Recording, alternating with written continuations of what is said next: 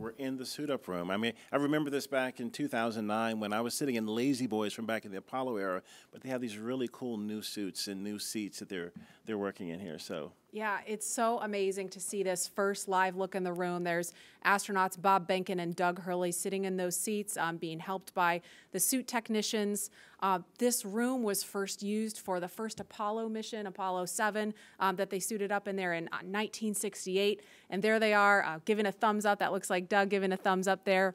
Wow, so the suits are actually much more than just garments. They actually connect directly into Dragon seats.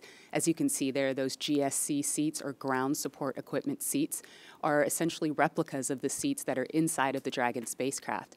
And the seats provide communications uh, as through an umbilical, umbilical, but also the ability to pressurize the suit if necessary. So right now what the, the suit team is doing is they're doing communications checks as well as a pressure check to make sure that the the spacesuit can hold pressure in the event of a cabin depressurization emergency. This is the last time that we're going to do this check prior to the crew boarding Dragon, where we'll do it all again.